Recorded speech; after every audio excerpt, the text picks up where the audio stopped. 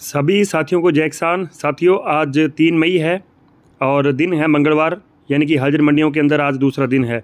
साथियों, आज भी सरसों के अंदर कोई बहुत बड़ी तेज़ी नहीं है। सभी बाज़ार लगभग जो है पच्चीस से लेकर तीस रुपये मंदे खुले हैं सुबह के टाइम। और आज भी नहीं लगता कि जैसे कोई बहुत बड़ी तेज़ी जो है सरसों के अंदर साथियों बनेगी। हालाँकि मैंने रविवार के दिन जो वीडियो डाली थी उसके अंदर भी निवेदन किया था कि पहले दो दिन लगता नहीं है कि सरसों इस सप्ताह में जो है तेज़ होगी। फिर भी आज जो बाज़ार खुले हैं, पच्चीस से तीस रुपये जो है कमज़ोर खुले हैं।